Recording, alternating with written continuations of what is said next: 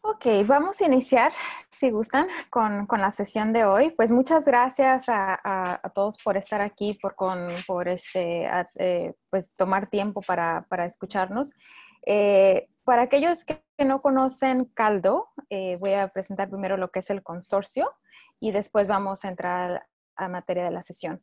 Mi nombre es Viviana Valencia y pues eh, gracias por estar aquí. Soy la coordinadora ejecutiva del consorcio Caldo y para aquellos que, no nos conocen van a decir pues, pues, ¿qué es Caldo, no? Caldo es eh, básicamente un, un, consorcio de ahora 10 universidades de Canadá son las universidades que ustedes pueden ver en su pantalla. Eh, está la Universidad de Alberta, la Universidad de Calgary, Dalhousie University, Université Laval, McMaster University, la Universidad de Ottawa, Universidad de Saskatchewan, la Universidad de Toronto, la Universidad de Waterloo y Western University. Esas son las 10 universidades que conforman el consorcio. Y algo bien importante que, recalcar de estas 10 universidades es que todas estas 10 universidades son parte de lo que se conoce como el U15 de Canadá. Este U15 es básicamente las 15 universidades de Canadá eh, que tienen mayor aporte en términos de investigación ah, de, forma mundial. Entonces, estas 10 universidades son parte de, ese grupo selecto. Bueno, ¿y qué es lo que hacemos en Caldo?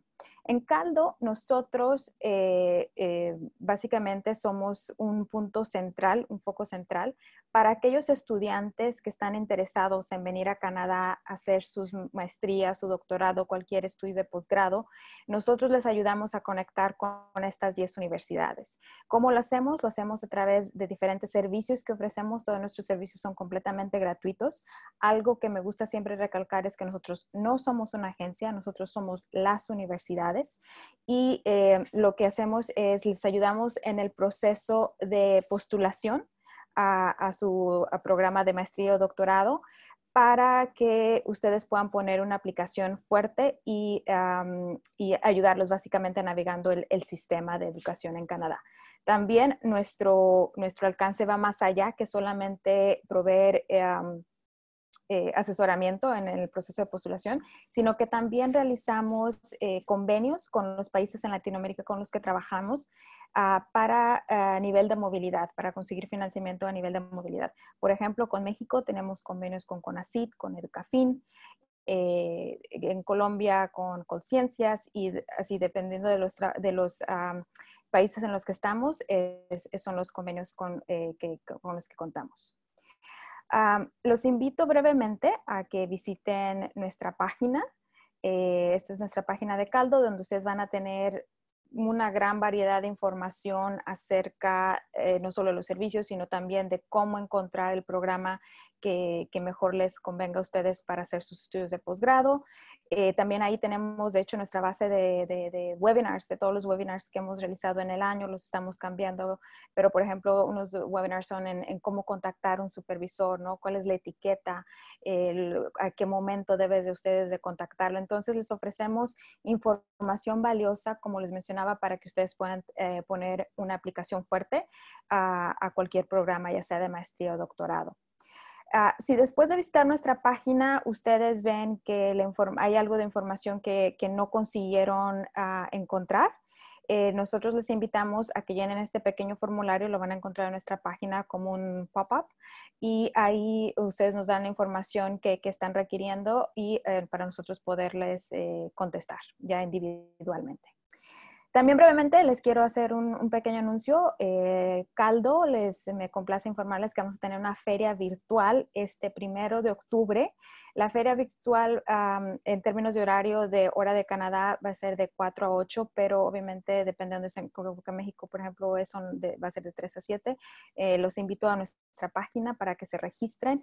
Eh, lo interesante de esta feria es que vamos a tener a la mayoría de, nuestros, de nuestras 10 universidades presentes van a estar personas de, los programas de, de posgrado para que ustedes puedan platicar directamente con ellos acerca de sus inquietudes de, de venir a Canadá, cómo postular, acerca de la vida, en las ciudades donde se encuentran sus instituciones y demás información. Entonces, si no lo han hecho, les recomiendo que visiten nuestra página, se registren, todo es completamente gratis. Ustedes nada más necesitan eh, reservar un, pequeño tiempo para ah, hacer esta investigación de a dónde ir a estudiar.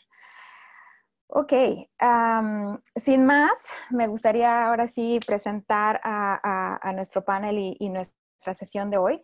Nuestra sesión de hoy se titula ¿Por qué decidí estudiar en Canadá? Y lo que hicimos en esta sesión, queremos, invitamos a tres profesionales que son, como el póster lo ven, son alumni de tres diferentes universidades del consorcio. Todos tienen carreras muy diferentes, eligieron ahora sí que un, un, camino profesional bastante diferente uno de otro y es eh, lo, lo, lo, rico del panel.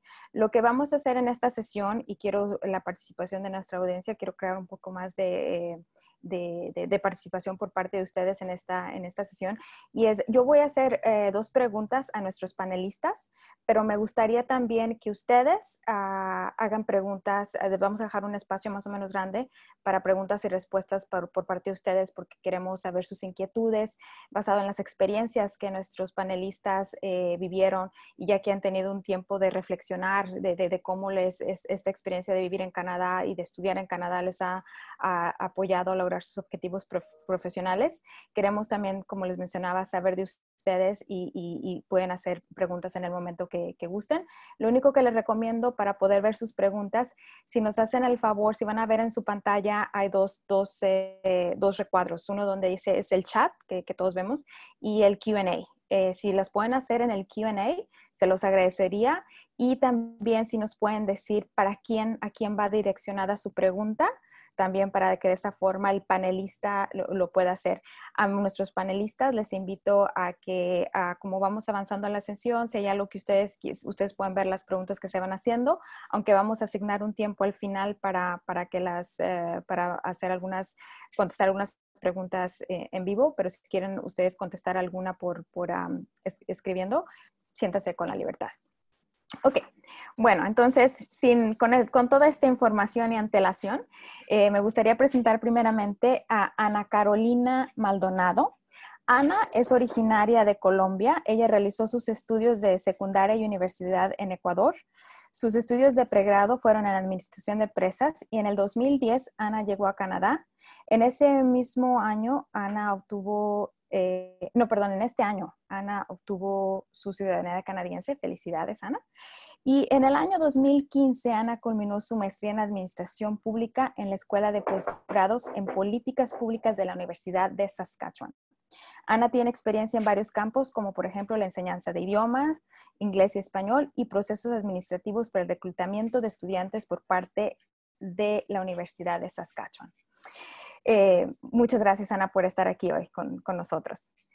Héctor, Héctor Torres, eh, él es un profesor de educación básica intercultural por la Universidad Católica de Temuco, Chile.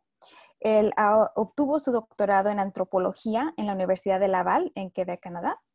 Eh, actualmente es profesor adjunto en la Universidad del Bio Bio en Chile, en el Departamento de Ciencias de, la Educación, en la Facultad de Educación y Humanidades. Sus líneas de investigación se relacionan con la educación de pueblos indígenas, políticas educativas e interculturalidad y educación.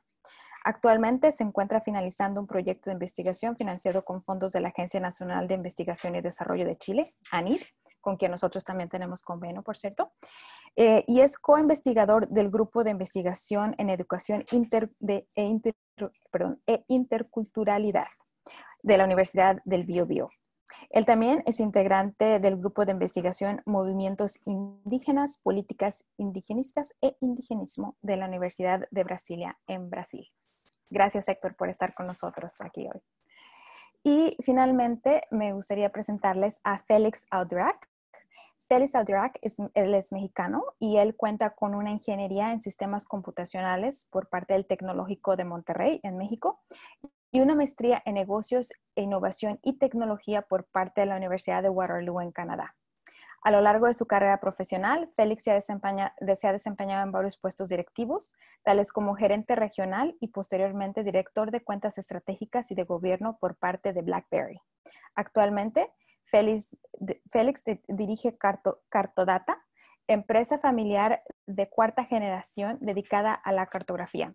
Cartodata se dedica a resolver problemas complejos mediante el uso de tecnologías geoespaciales que van desde nanosatélites hasta drones. Gracias, Félix, por tomar el tiempo de estar con nosotros. Bueno, eh, con estos antecedentes de, nuestros panelistas, y voy a dejar de compartir mi pantalla para que ellos puedan hacerlo, si, si así lo desean ahorita que les haga su primer pregunta.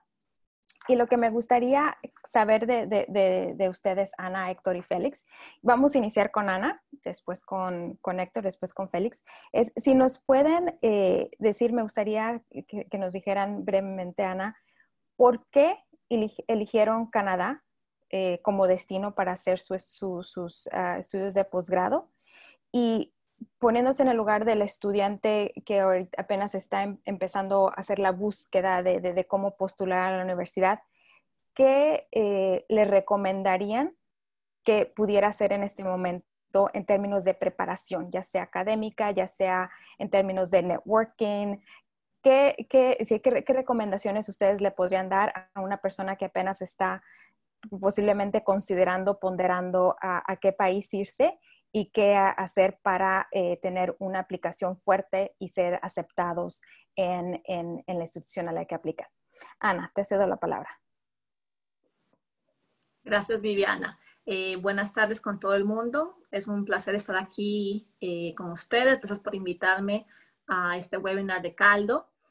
Eh, bueno, yo, mi nombre es Ana Maldonado y yo vine a Canadá en un inicio, en el año 2010, a hacer una pasantía en el área de logística. Y mientras estaba pues trabajando en esa área, eh, me di cuenta de la necesidad de tener una maestría. Entonces, debido a eso y debido a que me encantó la ciudad de Saskatoon, fue que, comencé a aplicar. En la primera diapositiva que ven aquí, esa era la Universidad de Saskatchewan, donde hice mi, maestría y donde además yo ahora trabajo. Eh, bueno, em, yo pienso que la primera recomendación que les podría hacer o la, principal es que tomen en cuenta el tiempo. Para mí esto es súper importante. Eh, si deseas realizar una maestría o PhD aquí en Canadá, te recomiendo que tengas en cuenta el tiempo, que comiences a, juntar todos tus documentos, averiguar y todo eso, al menos con un año de anticipación, si puedes con un año y medio de anticipación. Además, eh, tienes que tomar en cuenta las fechas límites de aplicación. Entonces, eh, eso es muy importante que tengas en cuenta para que no se te pase la fecha. Además de esto, el tiempo es importante. ¿Por qué? Porque si tú aplicas con tiempo, haces todo con tiempo, eh, vas a estar, eh, vas a tener todo listo para poder aplicar a una visa. No se sabe cuánto, se dure la visa, ¿no? Si te, si te dures, eh, se te puede durar de tres semanas a tres meses. Entonces, es importante que apliques todo con tiempo, por eso digo yo tiempo. y también es importante el tiempo con el, en el, um, en el sentido de que te debes preparar con el idioma, ¿cierto? Entonces, si todavía no tienes el idioma, entonces tienes que prepararte con tiempo en aprender, en tomar clases y en ver cuándo van a ser las fechas de esos exámenes que generalmente son el TOEFL o el IELTS. En segundo lugar, yo te diría que lo que yo les recomiendo es hacer la tarea. ¿A qué me refiero con hacer la tarea? A que cuando uno quiere hacer una maestría, uno tiene que definitivamente le va a tocar a uno hacer una carta de de objetivos de investigación. Entonces, para hacer esa carta o para poder contactar a un supervisor potencial, tú tienes que prepararte. Entonces, hacerla. Eso me refiero con hacer la tarea. Que tú vayas a la página web de la universidad, del programa que te gusta, leas lo que tienen, veas si hay un profesor que tiene lo que tú quieres estudiar, lo que tú quieres investigar. Y en esa, de esa manera, al estar ya preparado con esto, al haber hecho la tarea, puedes o hacer tu carta muy profesional o puedes contactar a aquel profesor con el que tú quieres trabajar. En tercer lugar, pienso que es importante asegurarte de cuál es tu cuál es tu plus. Para mí es importante que, que, que tú sepas que no solamente con el hecho de aplicar aquí estás, vas a ser admitido. La aplicación es competitiva, ¿sí? Hay gente de todo el mundo que quiere venir acá a Canadá a estudiar, que quiere entrar a ese posgrado que tú quieres hacer, a esa maestría, a ese PhD. Entonces, es importante que tú te enfoques en hacer una aplicación excelente que demuestre tu experiencia en el área, ¿cierto? Que resaltes esa experiencia que tú has tenido, tanto académica como experiencia laboral, también las dos son importantes. Eh, y entonces de esta manera que tú hagas todo lo posible por hacer que tu aplicación sobresalga y que te admitan. Eso sería lo que, lo que yo les aconsejaría, Viviana. Muchísimas gracias, Ana. Héctor, eh, ¿por qué elegiste Canadá y un consejo para nuestros estudiantes que están ahorita pensando en venir?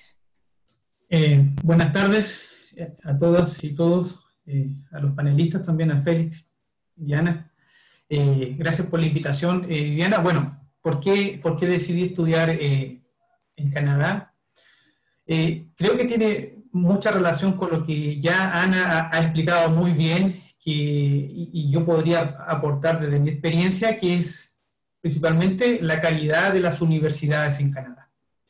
Canadá tiene un sistema universitario que dentro de América podríamos decir que es uno de los mejores, o sea, de los mejores por la calidad que tienen las distintas universidades. Puedes, puedes estudiar en Quebec, como fue el caso mío, o ir eh, a British Columbia, y en realidad la, la, diferencia que hay entre las universidades es casi como imperceptible porque son de un muy buen nivel. Y eso es algo que me motivó, me motivó a, elegir eh, Canadá. Bueno, no solo eso, también porque dentro de, de, mi línea de investigación que son de interés, Canadá es uno de los países pioneros, por ejemplo, en políticas multiculturales, en relación, ¿cierto? Y discusiones eh, desde la antropología sobre lo que ocurre con pueblos indígenas. Entonces, tiene, tiene un potencial que, que, me invitó, ¿cierto?, a poder postular a, Canadá. Y eso fue algo que, que me llevó, ¿cierto?, a elegir, y también la calidad de vida, la calidad de vida que se puede obtener al estudiar. Porque eh, no da lo mismo donde uno estudia. O sea, en realidad la posibilidad de desarrollarte, de poder, ¿cierto?, compartir, conocer personas, generar redes. Muchas de las redes de investigación que he logrado construir después de haber egresado del doctorado, precisamente las logré generar durante el doctorado con colegas ¿cierto? de distintas partes del mundo, porque además una particularidad de la universidad canadiense y que cada vez ¿cierto? Es, es, mayor es la, la, la, diversidad multicultural de los estudiantes que llegamos a estudiar a Canadá. Entonces, eh, eso es algo que, que te beneficia y, y, para eso creo que un consejo, además de todo lo que ha dicho eh, Ana, ¿cierto? de los temas administrativos, de reunir los documentos, para poder postular a, las universidades, de poder escoger, ¿cierto?, muy bien a tu supervisor, a, tu, a, quien te va a guiar en tu trabajo académico, ya sea en la maestría o el doctorado, eh, es poder tener eh, también, ¿cierto?, eh, bueno, todo lo que está vinculado, ¿cierto?, con, con, documentos, está muy bien, pero también algo que, que, es muy importante es poder tener la apertura, la apertura, ¿cierto?, de disponerte a aprender, aprender otro idioma, yo, yo, cuando fui a Canadá eh, era prácticamente, diría, monolingüe del español, y, al llegar al doctorado tuve que disponerme a abrir, ¿cierto?, mi, mi, mi forma de, de, otras lenguas, otros idiomas, porque en el doctorado era el 50% de la bibliografía en francés y en inglés. Entonces, eh, no hay ahí, eh, diría, tú no puedes como comenzar a dudar o comenzar, ¿cierto?, a titubear. Tienes que irse con seguridad y con la disposición de abrirte a conocer eh, algo que desconoces. Y creo que eso es algo que, que, en Canadá se puede hacer. Se puede hacer por los espacios que hay dentro de, de las universidades para compartir. En mi caso, eh, pude estar eh, vinculado durante los cuatro años del doctorado a un centro de investigación, un centro de investigación dedicado a, a, materias vinculadas con estudios indígenas en, en, la Universidad Laval, en el Departamento de, Antropología, en el CIERA, y, eso, eso me permitió, ¿cierto?, eh, estar siempre conversando, compartiendo con distintas personas. Entonces creo que eso es algo muy importante. además de poder tener los conocimientos lingüísticos, todo lo administrativo, de buscar bien un supervisor, de, escribir. Eh, a, mí me sorprendió que al principio pude contactar a mi director, escribir con él y tuve una muy buena acogida, ¿cierto? Pero hay que hacerlo con tiempo. Todo, todo debe ser con tiempo porque los tiempos en Canadá son muy marcados, o sea, y se respeta mucho eso. O sea, si vas a escribir en el verano, da por hecho que no te van a responder o va a demorar mucho la respuesta. Pero si escribes, por ejemplo, las sesiones donde están intensamente trabajando en otoño y en invierno. Y eso es algo que, que cuesta mucho, eh, cambia mucho. En el caso mío, de, en Chile, nosotros trabajamos en las universidades de marzo a diciembre. Ese es el, el, el, trabajo duro en el año académico. En Canadá es de septiembre a abril. O sea, son otros tiempos. Para los que somos de América del Sur, no, no es tanto un problema para alguien que es de México, ¿cierto? O de Estados Unidos, que eh, están bien, bien habituados a esa forma de, de, distribuir las sesiones, pero para los que somos de América del Sur, hay que entender que o es en otoño o es en invierno cuando tú puedes, ¿cierto?, ingresar a un programa. Y eso, y eso implica o septiembre o enero. Entonces hay que tener siempre también presente eso. Entonces, yo diría, ¿por qué? Porque son, ¿Por qué decidí estudiar? Porque realmente hay condiciones para, para aprender, para vivir, para desarrollarte que son muy óptimas. Las universidades son de una gran calidad, las bibliotecas, los espacios de diversión, eh, la ciudad en sí, eh, el transporte, en los lugares donde puedes vivir, pero también porque, bueno, hay, que considerar esos factores que estoy señalando para también qué, podría eh, recomendar, fijarse muy bien en los tiempos. ¿Cuándo quieren ir a estudiar? No da lo mismo ir a estudiar a Canadá en otoño que ir a estudiar en invierno. Cuando yo, llegué en enero, el, el, el 13 de enero salí de Santiago de Chile con 35 grados de calor, llegué a Quebec con menos 35 bajo cero. Y en dos días estaba con un invierno polar, un verano, ¿cierto?, intenso en Santiago. Entonces, eso, eso, si tú no estás preparado también mentalmente para eso, te puede chocar muy fuerte y a veces genera, genera quiebre muy fuerte también en las personas. Eso inicialmente podría decir Viviana.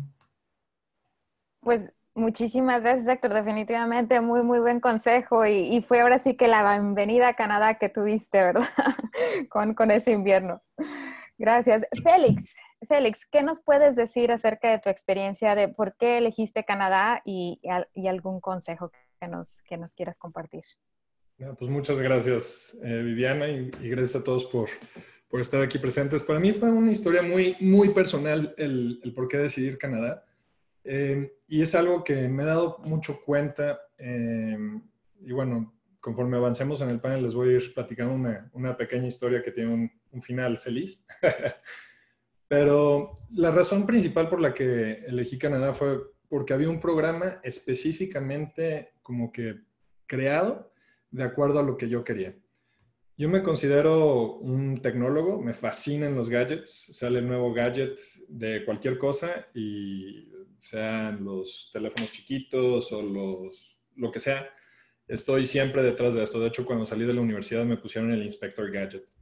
Y el, y el Master in Business Entrepreneurship and Technology tenía en su, en su página eh, un, un, programa, había visto, había aplicado a Harvard para hacer el MBA, había visto diferentes oportunidades, que, pero ninguna específicamente hablaba sobre generar una experiencia práctica sobre la implementación de la tecnología en un mundo de negocios. Yo soy ingeniero, a mí me gusta diseñar productos, ¿cómo los voy a llevar a que resuelvan una problemática real?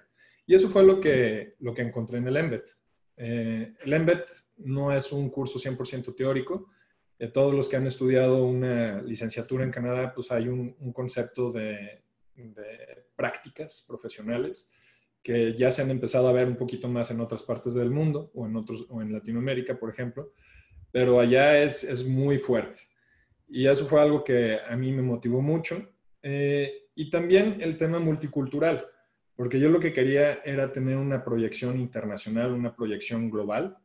Eh, esta foto que les pongo aquí es, es, un collage que hicimos donde estamos en, en diferentes lados del mundo. Aquí estamos, ah, creo que no se ve mi mouse, pero en el centro de la M estamos en Boston, en la siguiente estamos en Hong Kong, en Hong Kong eh, University of Science and Technology.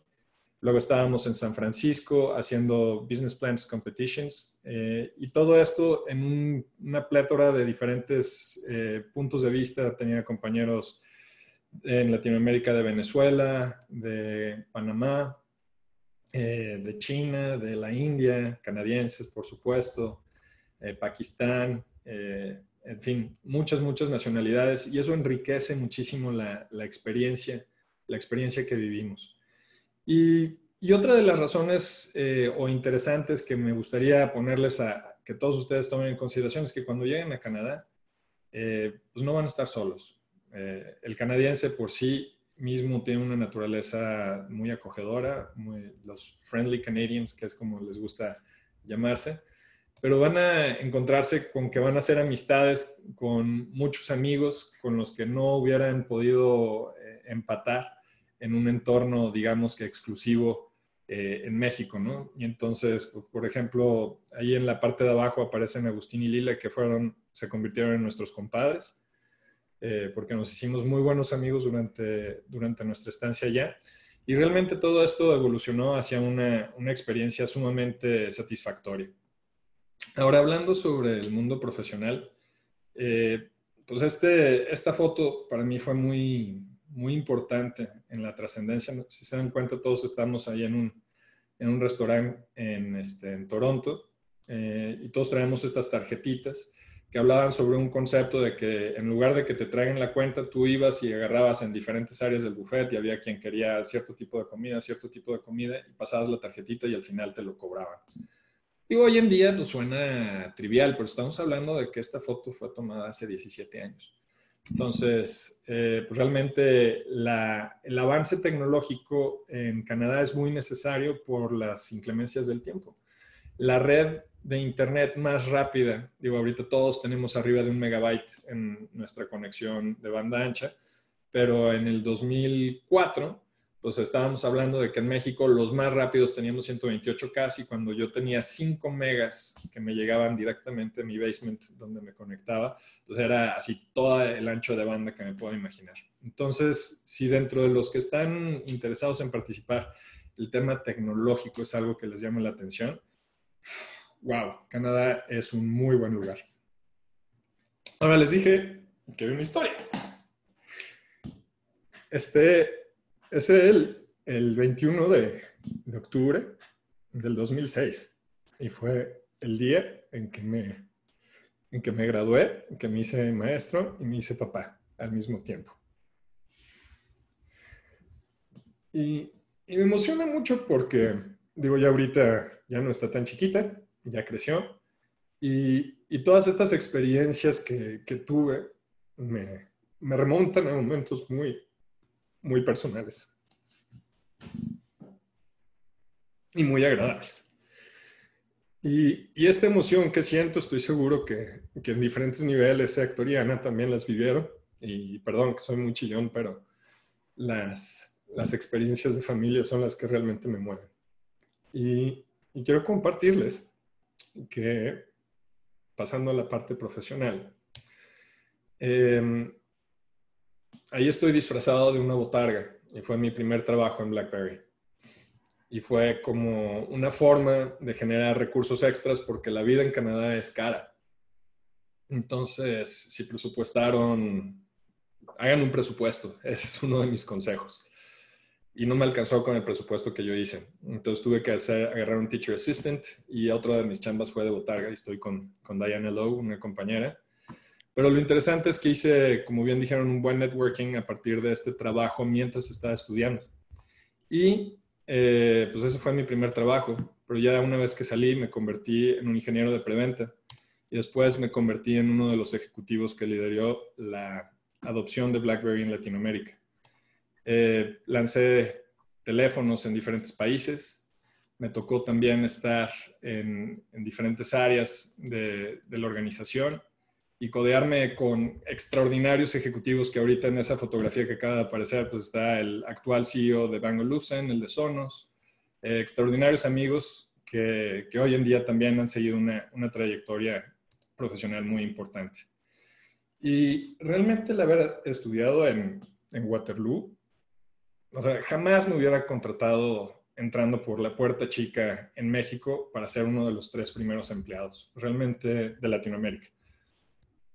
Realmente mi aplicación a trabajar en BlackBerry fue eh, a partir de los eventos de networking que se dieron en, la, en, maestría y, y fue una oportunidad extraordinaria. Yo trabajé seis años en BlackBerry, pero fueron como 15 años de experiencia puestos con un embudo en la cabeza fui el director más, más joven de la empresa y me tocó todo el glamour que se puedan imaginar en el mundo profesional. Y, mucho se lo debo a, precisamente esta combinación. Eh, por ahí eh, Jorge Orozco preguntaba sobre si estudiar en el TEC de Monterrey te pone en una buena perspectiva para, para ser aceptado en, en, en Canadá. Eh, yo puedo decirles que, y, ligando con el testimonio de Ana, cuando tú empiezas, tienes que hacer tu tarea, la primera vez que apliqué a los posgrados, eh, recibí tres cartas de, rechazo, eh, dos en Inglaterra y una en Canadá, porque no había hecho mi tarea. No había hecho el proceso como se debe. Y eso me forzó la segunda vez a hacer bien mi tarea, a estudiarlo todo perfectamente. Y no nada más logré que me, que me aceptaran, sino que me dieran una beca solamente por las entrevistas y por mi proceso, por mi carta de aplicación. Entonces, el hacer su tarea es una, parte muy importante. Y, bueno, esto me lleva a una, reflexión en mi proceso con el que a los, a los diferentes eh, que están queriendo aplicar a esto, eh, les quiero dar el consejo de visualizar su futuro. Yo me veía que a largo plazo quería regresar al negocio familiar con más experiencia y habiendo sido curtido en una, en una experiencia real. Entonces, parte de lo que, de lo que sucedió en esta, en esta experiencia o al momento de, elegir la, la carrera, lo, de, lo desconstruí en tres elementos que quiero dejarles como recomendación. Uno, identifiquen la industria en la que quieren desarrollarse. Eh, la, la, industria es, es el entorno que los va a hacer crecer. Y si ustedes quieren ir a estudiar algo en específico, que esté alineado con la industria que ustedes, en la que ustedes quieren desempeñarse. Y cuál es el fit que ustedes tienen con esa industria. Y que el ambiente en Canadá sea el correspondiente para poderlos detonar en ese, en ese entorno. A mí me tocó la tormenta perfecta. 2006 fue el año en que BlackBerry eh, ganó su demanda contra eh, un, despacho y entonces se hizo el fenómeno global. Y, créanme que ser parte de esa ola y ser parte de eso es simplemente algo extraordinario que, que se tiene que estudiar, que se tiene que identificar. A lo mejor no desde que estás aplicando, pero sí busca un entorno, un ambiente que se esté, eh, que se esté presentando algo similar. Es curioso, pero se, se presentan esos ciclos. Eh, cada día es 15 años. Eh, mi hermano está ahorita haciendo, está participando en su ola del ciclo eh, en Shopify, que está también teniendo un, crecimiento exponencial como el que tuvimos en BlackBerry en esos años. Y, y, yo creo que les dejaría como consejo que lo que estén buscando estudiar esté alineado con el paso que sigue. ¿Qué van a hacer ustedes de su vida profesional? Y bueno, este, creo que hasta ahí son las preguntas que nos ha dado y perdón por extenderme tanto. No, no, no, de hecho, quédate aquí, Félix, porque eh, lo, que estás mencionando se liga bastante bien a la segunda pregunta, entonces espérame un momentito aquí, eh, que vamos a seguir el, la conversación a la, inversa, pero hay algo que me gustaría recalcar. Primero, muchas gracias por compartir eh, este, pues tu experiencia, como lo dices, es bastante personal y, muchas gracias por, por, compartirla con nosotros. Y algo que me gustaría mencionar a nuestra audiencia es algo que, que, que tú mostraste en tus fotos, ¿no? Cómo eh, la vida en Canadá, como mencionas, es cara. Eh, siempre, no siempre, pero hay eh, becas que los estudiantes pueden accesar, pero quiero que también tengan algo en mente, que aún a pesar de la beca o de los apoyos económicos que, que puedan adquirir, si las finanzas es algo de su preocupación, pues el, poder trabajar. Creo que esa foto que compartiste con nosotros donde estás vestido con la botarga del Blackberry es súper inspiracional porque, o sea, vemos a un futuro director de BlackBerry iniciar ahora sí que desde, literal, desde la puerta de abajo hasta arriba, ¿no? Entonces, eso chicos, es, es realmente cuando uno tiene ganas de hacer las cosas, de lograr hacer las cosas, es el trabajo que cuestan las cosas que tienen valor. Entonces, nada bueno viene de forma gratuita, sin costo. Hay que trabajar y trabajar duro.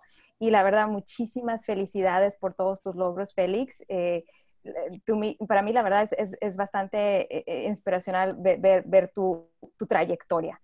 Y, te digo, te, quería mantener aquí porque la segunda pregunta es, muy en relación a, lo que estás, eh, a lo que nos compartiste y es básicamente, bueno, ya nos mencionaste un poquito cómo eh, tú, eh, por qué elegiste Canadá y cómo se relaciona a tus objetivos profesionales, pero hay algo más si quieres mencionar en cómo el haber completado, el, perdón, cómo el haberte graduado de, del programa de maestría de, de la Universidad de Waterloo. Eh, complementó de forma tan, tan, tan perfecta, ¿no? El, el, el ahorita, el, el eh, donde estás al final ahora, que como dices, tu objetivo era regresar a la empresa familiar, ¿cómo ese programa lo, lo, visualizaste que te iba a ayudar a ahorita dirigir tu empresa actual?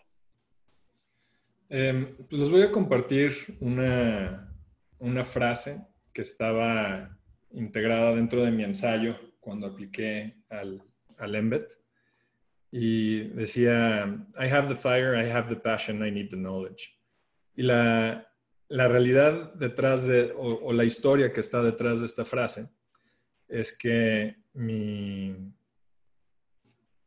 la, estructura del, del, programa hablaba precisamente sobre, pues tú tienes la pasión, tienes el fuego, y cómo eso combinado con el conocimiento te va a dar las oportunidades. Y eso era algo que yo no vi cuando apliqué y realmente me lo aventé, fue, fue un, ahora sí que se DPT y las cosas caen donde deben de caer cuando uno está preparado. Pero es que no piensen en aplicar o estudiar una maestría como algo solo, porque se complemente y yo creo que mi aprendizaje no estuvo en el salón, sino estuvo afuera del salón. Em, los eventos de networking, el conocer, el no tener miedo de acercarme a un ejecutivo y hacerle un pitch, etc. Eso, eso fue parte de la, de la formación académica.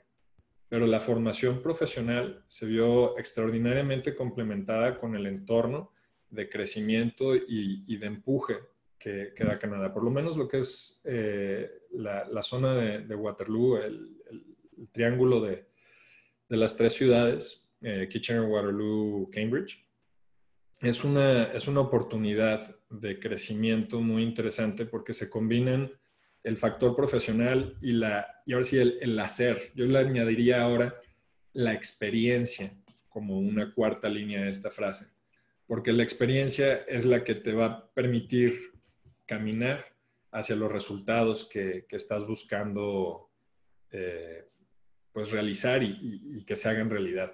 Y yo creo que en, la vida actual, por ejemplo, ahorita estamos en un proceso de reingeniería, de digitalización de procesos y de diferentes cosas en nuestra empresa.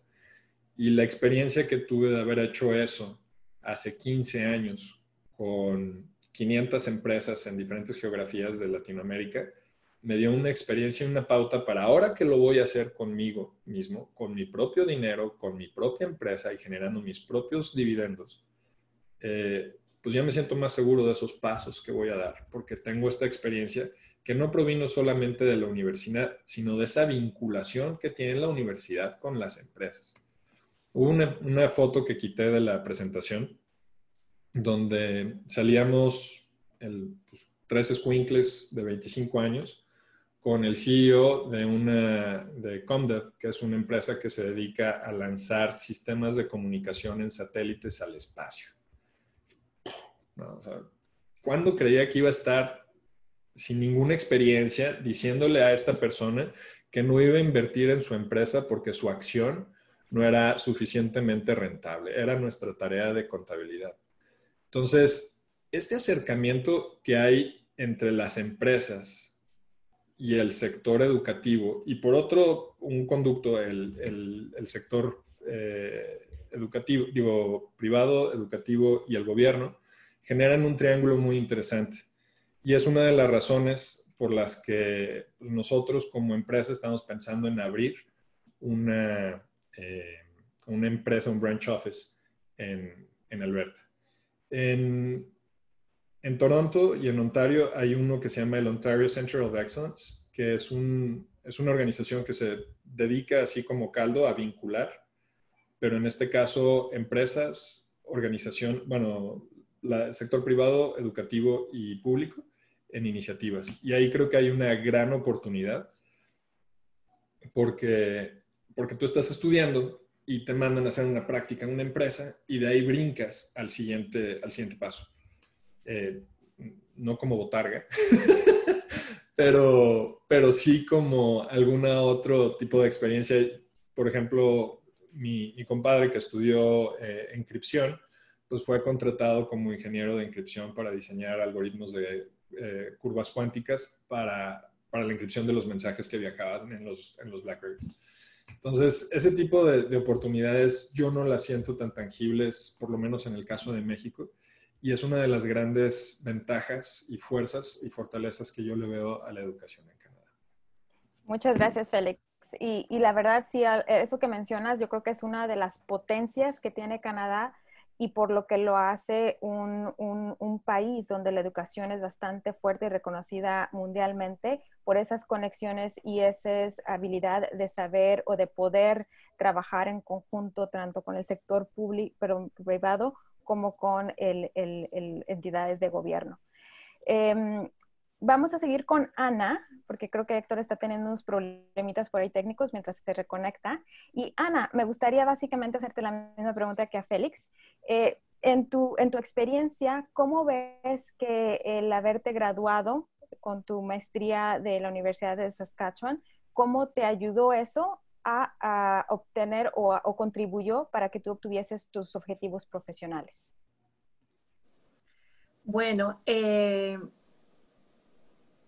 cuando yo apliqué la maestría, yo quería, yo en primer, bueno, ya que eran algo en administración pública, una maestría en administración pública, yo en ese momento estaba pensando que quería trabajar dentro del gobierno, pues por el beneficio de, los ciudadanos, ¿sí? Quería contribuir a nuestra sociedad. Entonces, pero uno de los puntos que más me hizo aplicar a este programa era el hecho de que tenía una pasantía. Entonces, porque en Canadá es muy importante el tener experiencia canadiense. Entonces, mientras yo estuve en mi programa, hice todo lo posible por obtener esa pasantía, porque no era que de ley te la daban, sino era una pasantía competitiva. Entonces, eh, pienso que sin los estudios que yo tuve de la maestría en Canadá y sin eh, la pasantía que hice en el Ministerio de Infraestructura y Transporte en el área de políticas públicas, sin esos dos elementos, yo no hubiese podido obtener los trabajos que he obtenido después, los cuales fueron, eh, eh, yo era oficial de reclutamiento de estudiantes internacionales. Yo quería un trabajo que me permitiera viajar, ¿sí? A mí me gusta mucho viajar, me gusta eh, pues aprender idiomas, conocer diferentes culturas y sinceramente, si, yo no hubiese tenido esa experiencia, yo no hubiese podido conseguir ese primer trabajo en la universidad, porque era un trabajo muy peleado, ¿sí? Entonces yo entré a ese trabajo sin tener experiencia de reclutamiento. Sin embargo, yo trabajé en el Ministerio de, Infraestructura. Sin embargo, yo me hice conocer en el ministerio, en mi programa, con gente dentro de la universidad. Entonces, todo esto ayudó a poder obtener mis objetivos profesionales. Yo les aconsejaría les quisiera aconsejar una de las cosas que yo elegí o que hice para poder obtener mis objetivos profesionales, ¿sí? Eh, una, pues, fue la oportunidad de la COOP eh, de hacer la pasantía y esto es, esta pasantía, pues, fue muy buena porque pude tener contacto con gente de alto rango del gobierno de aquí de la provincia, pude asistir a reuniones de estos señores que eran los jefes de, de, los ministerios eh, y pude colaborar con diferentes unidades dentro del ministerio y hacer eventos y conocer gente. Y esto me, me, ayudó, me ayudó para el trabajo después. Otra cosa que les recomiendo, que Félix eh, ya lo dijo también, es eh, todo lo que es networking, ¿sí? Asegúrate de asistir a los eventos académicos y de networking. Afortunadamente, el programa que yo hice tenía varias pláticas, invitaban a expertos en el tema que hablaran acerca de a que hablaran acerca de problemas locales o problemas internacionales y las posibles soluciones a estos problemas. Es importante asistir a estos eventos. Ah, es importante que vayas preparado también con, si quieres conocer a alguien ahí. Y, por ejemplo, mi programa en el Johnson Shoyama Graduate School of Public Policy aquí en la universidad eh, nos permitía, nosotros como estudiantes, nos regalaba unas tarjetas de presentación. Entonces yo me aseguré de tener mis tarjetas de presentación y cuando iba a los eventos académicos, pues yo daba mi tarjeta, ¿no? Y pedía, pedía a alguien más porque uno no sabe a la vuelta de la esquina, pues, quién lo reconoce a uno, quién lo puede ayudar y qué le puede ayudar a uno para obtener trabajos en el futuro. Lo otro que también Félix y Héctor hablaron es la pluriculturalidad que existe en Canadá, aquí en Canadá. En realidad la pluriculturalidad canadiense se veía reflejada sumamente en mi clase, ¿sí? En mi clase de maestría en administración, administración pública tenemos gente de todo el mundo, ¿sí? De Asia, de África, eh, del Medio Oriente, gente de diferentes culturas, gente de diferentes religiones. Es muy importante que tú vengas con una mente abierta a poder conocer a toda esta gente, porque es importante eh, conocernos mutuamente para que tanto ellos como nosotros nos aceptemos mutuamente también les quería recomendar, bueno, cosas que yo más hice, cosas, otras cosas que yo hice fue eh, pues tratar de darme a conocer. Entonces, aparte de, asistir a todos los eventos, también me lancé como candidata a ser parte del, em, de, como vicepresidenta social en la Asociación de Estudiantes de aquí del programa donde yo estaba. Entonces, ¿esto qué demuestra? Eso demuestra iniciativa, ¿sí? Hicimos varios eventos, hicimos colecta de fondos cuando hubo un tsunami en Filipinas y finalmente nos culminamos con un wine and cheese al, cual invitamos gente del sector privado, del sector eh, non-profit y del sector público. Eh, entonces, es importante hacerte conocer, tomar la, la iniciativa. ¿Por qué? Porque además, no solamente hacerte conocer con otros, sino hacerte conocer con tus profesores porque generalmente al tú llegar acá y pues todavía no tener experiencia canadiense, tus profesores van a ser quienes te brinden esa referencia que tú vas a necesitar al aplicar a trabajos. Y finalmente lo que, lo que más les quisiera recomendar es que aprovechen al máximo el tiempo que, que tuvieron aquí, el, el, tiempo que en Canadá, todas sus experiencias, aprovechen, conozcan, salgan, conozcan gente, hablan con gente. Si dicen vamos a, vamos a esquiar, vamos a hacer snowboarding, háganlo, porque no saben cuándo se vuelva a repetir la, la eh, a repetir esta oportunidad. Y, y eso, y em, les recomendaría que siempre también aprovechen los servicios que presta tu universidad. Aquí en la Universidad de Saskatchewan, pues tenemos una cantidad de servicios para los estudiantes, tenemos piscinas, tenemos eh, gimnasios, tenemos centro de salud, tenemos farmacia, todas cafeterías, los restaurantes, todos los servicios, ¿no? Si te presenta algún problema. Eh, tenemos un centro de, eh, se llama AISE, que es, para, es el Centro para Estudiantes Internacionales, con gente muy preparada, muy capacitada, que te ayudan en todo lo que tú necesitas. Entonces, definitivamente, sin los estudios en Canadá, sin la pasantía y sin yo salir y demostrar quién soy y sin tener iniciativa, no hubiese obtenido los trabajos que he obtenido. Entonces, a ponerse las pilas y cuando vengan, aprovechar. Eso muchas, es. Muchas gracias, Ana. Ana, nada más, eh, antes de, continuar con Héctor, nada más te voy a pedir de favor si ves ahí las preguntitas del QA y me apoyas contestando algunas y nada oh, más por, el, tiempo. Y después, de todas maneras, las que queden las vamos a preguntar, pero si quieres, mientras contestar algunas por ahí. Listo.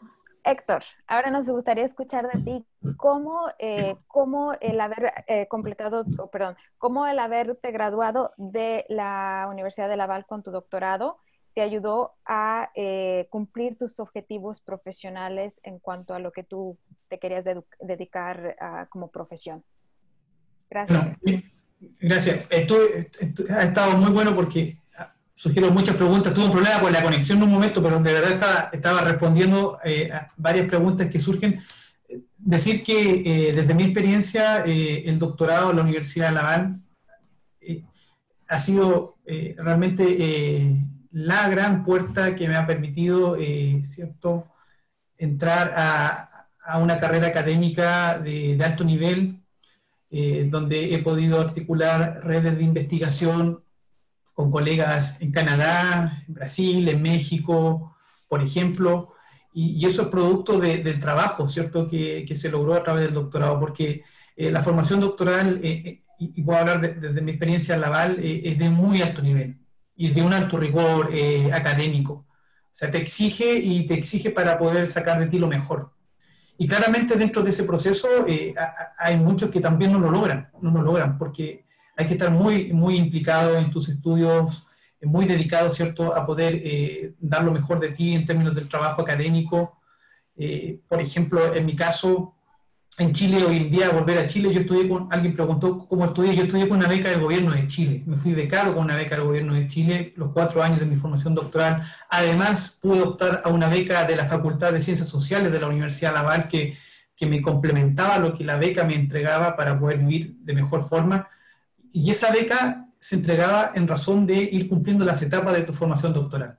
Entonces, eh, y eso es producto del trabajo que tú vas desarrollando, ¿cierto?, con, con mucho rigor. Y, desde esa perspectiva, al volver a Chile, ya el trabajo previo que había logrado en la formación doctoral, que no era solo lograr el doctorado, sino que también publicar, desarrollar publicaciones científicas, participar en congresos, como decía Ana, eh, en distintas instancias que se dan escuelas de verano. Eh, en, en, en, nuestro centro de investigación teníamos, ¿cierto?, el mediodía del CIERA, donde se invitaban expositores, eh, académicos, académicas, estudiantes de doctorado que compartían sus avances de investigación y todo eso te va nutriendo y te permite, y me permitió al llegar a Chile tener un currículum bien armado para optar a una plaza eh, académica acá en mi país.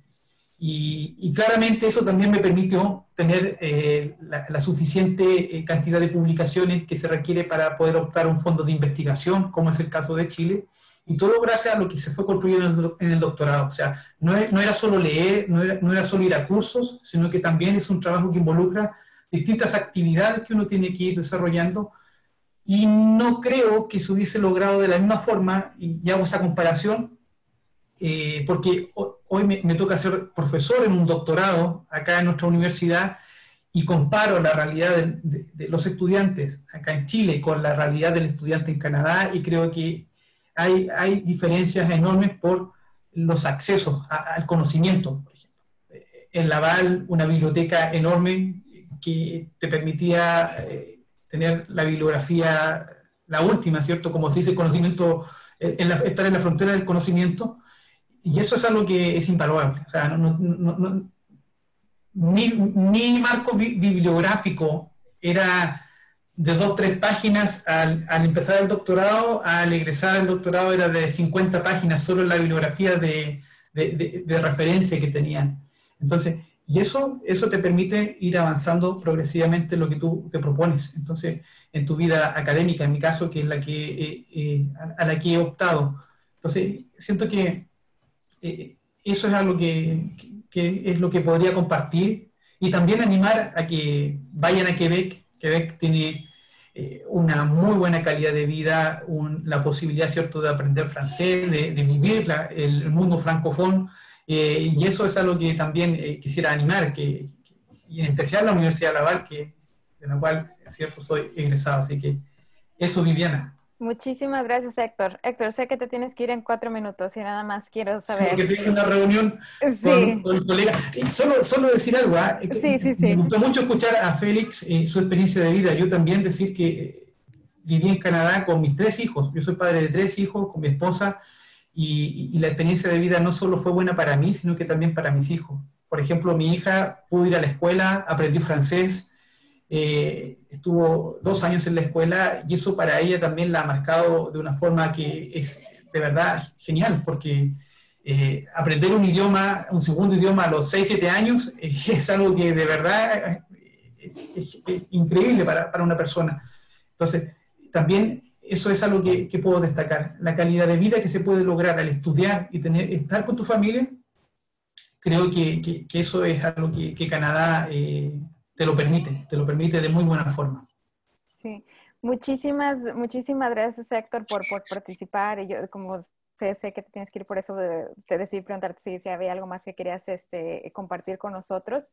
Y nada más la última pregunta. Si ahora con todo esto miras atrás, ¿lo volverías a hacer? A pesar de haber llegado en enero, el 13 de enero, con estas menos 35 vivir un invierno polar es algo que hay que vivir, creo, es bueno, es bueno aprender a vivir con eh, cinco o seis meses de invierno, te cambia la forma de entender la vida. Yo veo a la gente ahora acá en Chile que vive el invierno y el invierno donde yo estoy en Chile realmente para mí no es invierno, es como con suerte alcanza a ser otoño. Eh, sí, lo volvería a hacer. Eh, o sea, yo creo que no dudaría de, de optar para hacer mi posgrado en Canadá.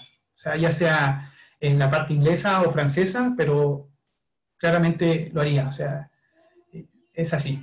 Muchísimas gracias, Héctor. Muchas gracias por estar aquí. Eh, bueno, eh, me gustaría nada más contestar unas, por, por el tiempo, y sé que, que todos tienen otras, este, eh, ¿cómo se dice? Otras, quizás otras cosas que hacer, entonces voy a pasar a unas cuantas preguntas, pero también me gustaría dar un poquito de información. Veo ahí en las preguntas, ¿cuándo va a ser la feria virtual? Va a ser el primero de octubre se pueden, pueden visitar nuestra página para que se registren. Les menciono, todo es completamente gratis para que ustedes puedan eh, recibir información directamente a las universidades. Financiamiento, eh, como lo mencionó Héctor, eh, él se vino a través de, una beca por parte de ANID. Nosotros tenemos convenio con ANID, de hecho, y con, otros, con otras entidades de gobierno en los países en los que trabajamos. Entonces, les pido por favor, si, si ustedes están interesados en aplicar a estas becas que, de, de movilidad, visiten nuestra página también para conocer la, temporalidad de cuándo abren, cuándo cierran, los requisitos. Y otra pregunta bien importante en relación también a las becas es si pueden trabajar o no. Dependiendo de la beca, algunas becas pueden ser que tengan una restricción donde si ustedes tienen esa beca no pueden trabajar aunque estén, eh, aunque sea algo, un derecho que, que, ustedes tienen porque se les da su, su, permiso de estudio. Algunas becas no lo permiten, otra vez dependiendo de la beca y del país, es esa información que nosotros les podemos dar después en caldo. Si nos mandan un correo por ahí, les podemos eh, asesorar. Y este, una, una pregunta aquí para, para Ana. De hecho, nada más voy a hacer esta pregunta y después una pregunta más a Félix. Ana, em, ah, creo que ya la contestaste, perdón, Ana. Eh, bueno, sí, hay una, sí. Eh, le mencionabas en términos de extracurriculares para prepararse para la aplicación. Eh, ¿Qué recomiendas, Ana? Si, estamos, si estás por ahí todavía. Sí, ahí estás. Ana, ¿qué, tipo de actividades tú recomiendas eh, para, los que, para las personas que están ahorita trabajando en su aplicación que puede agregar valor a, su aplicación en términos de extracurriculares que puedan resaltar en su CV? bueno, en, mi, en materia personal, lo que, lo que yo puse, digamos, en mi aplicación, eh, pues yo puse todo lo que, lo que había hecho en materia extracurricular en la universidad, digamos. ayudé en un, um, en un, evento de la OEA, entonces puse eso. Eh, ya para ese entonces yo había hecho voluntariado aquí en una casa de ancianos, puse eso. Voluntariado es muy importante aquí en Canadá. Hay una, una cultura bastante fuerte de hacer voluntariado. Em, eventos que había organizado, puse eso. Lo que yo he visto, ahora, debido a mi experiencia como agente de oficial de reclutamiento de estudiantes, digamos, cosas que vi en los chicos, em, en aplicaciones de otros chicos. Por ejemplo, alguien había ido a otro país o a otra ciudad a hacer un intercambio hablar sobre eso, ¿cierto? De qué hiciste, qué aprendiste, cómo creciste. Em, ¿Qué más les puedo decir? Em, investigación. Si van a aplicar a una maestría de investigación o a un ah, doctorado, es muy importante que desde ahora comiencen a hacer su investigación, ¿sí? Que se reúnan con un profesor o con otros chicos y hagan artículos. Eso es muy importante. Les voy a comentar algo. Yo veía aplicaciones de gente de Latinoamérica y gente de Asia, ¿sí? precisamente de, específicamente de China. Y los chicos de China venían ya, o sea, solamente con pregado y ya venían con artículos publicados, ¿sí? se reunían cinco personas, decían un artículo, pero ya tenían un artículo publicado, ya habían hecho esa investigación. Entonces ustedes, nosotros en Latinoamérica, tenemos que poner las pilas y hacer lo mismo, ¿sí? Ya desde tu, desde tu pregrado comenzar a hacer investigación. Si no es investigación lo que haces, sino comunicación, este, journalism, ¿sí? Hacer un artículo, publicarlo. ¿Sí? Entonces todo esto aplica a cada una, a tu área, dependiendo de tu área, cuál sea tu área. Eso es lo que podía sugerir. Muchas gracias, Ana. ¿Lo volverías a hacer? Claro que sí. ¿Sí? Claro, sí, sí, claro que sí. En, Canadá, em, yo he vivido en Ecuador, en Colombia, eh, hice un intercambio estudiantil en el colegio en Estados Unidos y vine acá a Canadá. Y finalmente aquí en Canadá fue donde me encontré.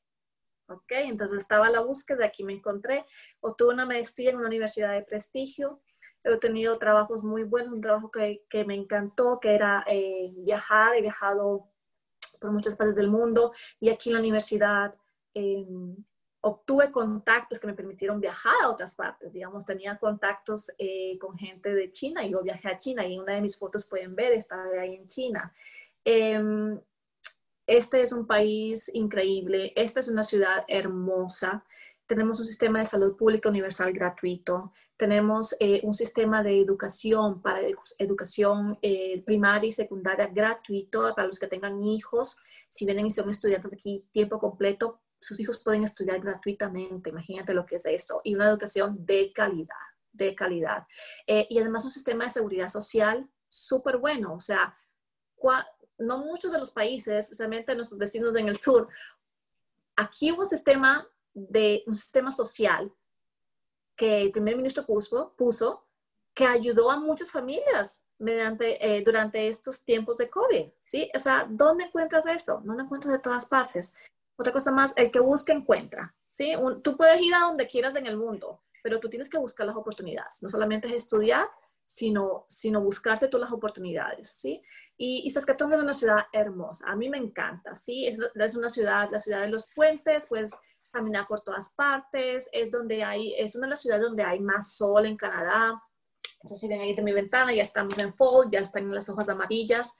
Entonces, aquí eh, me casé este, con mi esposo maravilloso que se llama Michael, eh, tiene una familia excelente. Aquí la gente es muy buena, em, la, calidad de vida es excelente, eh, tanto la salud, las carreteras, todo. Entonces, definitivamente que sí lo recomiendo. Vénganse. Muchas gracias, Ana. Félix, mirando hacia atrás, ¿lo volverías a hacer? Lo volvería, yo, yo voy a retomar tu frase y la voy a cambiar un poquito. Y este, en lugar de nada más contestar si lo volvería a hacer, es lo volvería a hacer. ¡Oh, wow! ¡Felicidades! Em, no sabía. ¿Se acuerdan de ella? Sí, ah, sí, sí, sí, sí, sí. Ok, déjenme nada más. Bueno, ¿sí ven mi pantalla ahorita?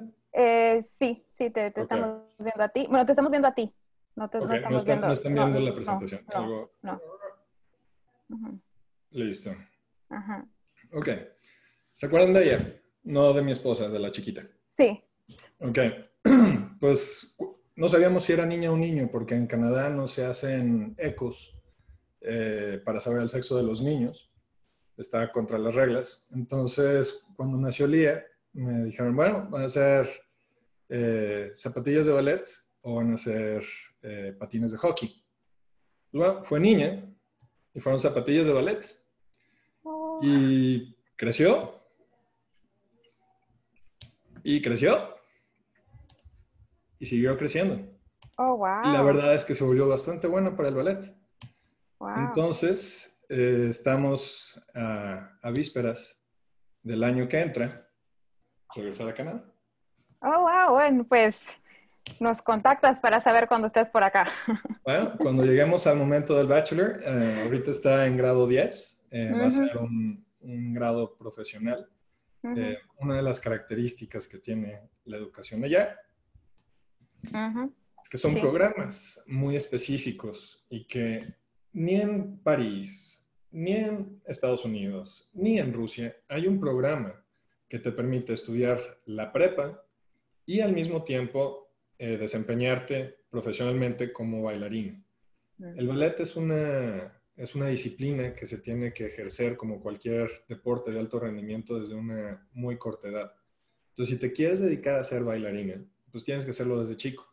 Entonces, la decisión de qué estudiar y de qué voy a hacer de grande, pues mi chiquita de 14 años ya la tomó y, eh, y la vamos a apoyar.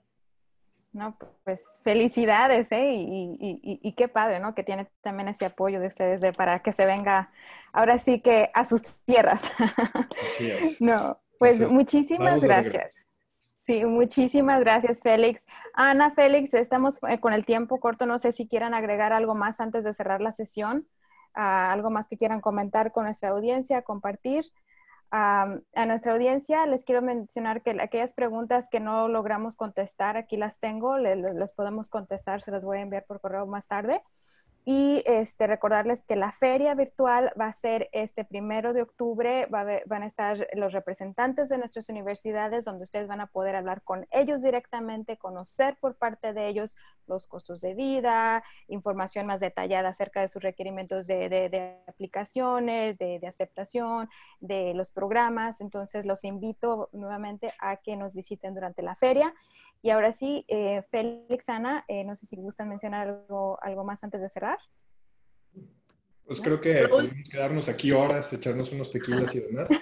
sí. Entonces, este, yo les puse ahí en el chat eh, el link de mi perfil de LinkedIn. Irónicamente es la forma más ágil de contactarme.